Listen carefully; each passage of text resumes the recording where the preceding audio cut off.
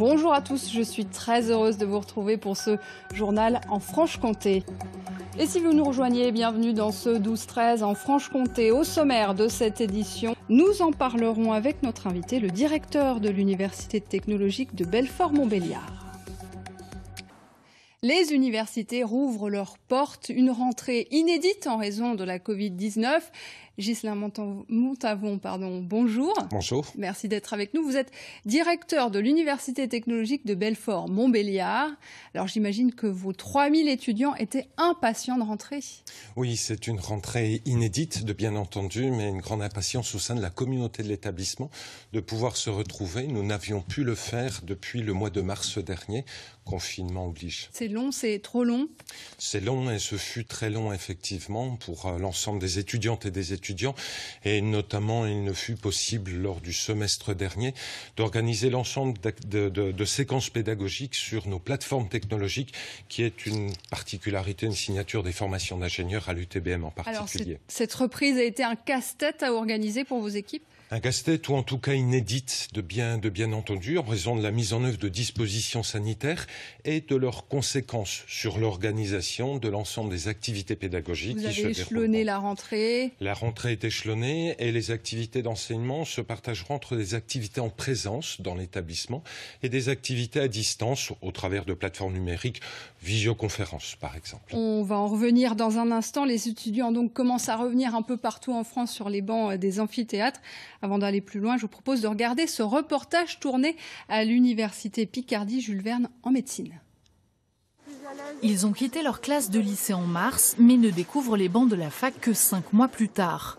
Une pré-rentrée très, très attendue pour ces étudiants en première année de médecine. On se demandait tous si on allait pouvoir être en présentiel ou si on allait devoir faire cours chez nous, en ligne, ce qui aurait été assez compliqué parce que c'est une année assez stressante et euh, en plus, avec la réforme, on a double stress en fait entre le Covid et toutes les mesures barrières, et maintenant euh, juste ici euh, la, la médecine quoi. En l'immédiat, non, ça stresse pas forcément, mais s'il y a un reconfinement, oui, euh, les cours en, vidéo, c'est pas, c'est pas le top, quoi.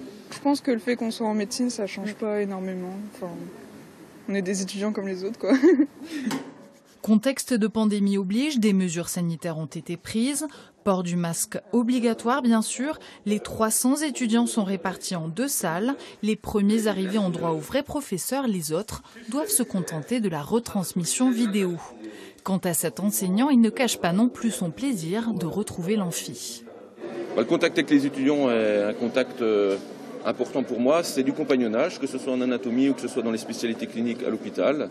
On apprend des gestes, on apprend des attitudes, on apprend un dessin. Et c'est toujours intéressant d'échanger. On va avoir ce qu'on appelle des galactorées postpartum après l'accouchement. Mais une fois digéré ce premier cours d'anatomie, il va surtout falloir retrouver le rythme. Ce qui va être compliqué déjà, c'est de trouver la méthode de travail parce que ça fait quand même six mois qu'on n'a quasiment pas travaillé.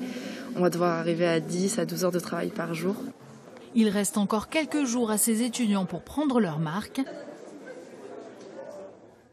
Gisela Montavon, vous dirigez donc l'Université technologique de Belfort-Montbéliard. Vous avez fait le choix de 50% de cours à distance et tous les cours magistraux à distance. Ce n'est pas le cas dans l'université euh, Franche-Comté en général. alors le taux de présence au sein de l'établissement va dépendre de la configuration des locaux, du type d'activité pédagogique également, et puis des volumes horaires des maquettes pédagogiques. Nous avons des maquettes pédagogiques relativement importantes, beaucoup d'activités pratiques, ce qui conduit du point de vue organisationnel à avoir 50% du temps en présence dans l'établissement et 50% du temps à distance. Pourtant, on l'entend, les étudiants ne sont pas forcément pour euh, la distance. Euh, les cours à distance, c'est plus compliqué C'est plus compliqué, c'est plus exigeant de, bien entendu.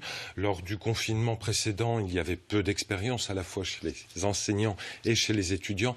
Je pense que nous avons tous et tous mûri avec cette euh, première expérience et je reste optimiste en tout cas, j'allais dire, sur le bon déroulé de ces activités à, distance. Alors, la particularité de votre établissement, c'est qu'il y a beaucoup de stages, des stages à l'étranger. Comment ça va se passer cette année? Alors, c'est là où il y a des impacts relativement important, nous divisons à peu près par quatre le nombre de mobilités sortantes, c'est-à-dire des étudiantes étudiants partant dans des universités partenaires. Et là, c'est un vrai, un vrai impact de cette crise, de cette crise sanitaire. Forcément, pas de destination à risque. Pas de destination à risque et pour l'essentiel des destinations dans l'espace Schengen.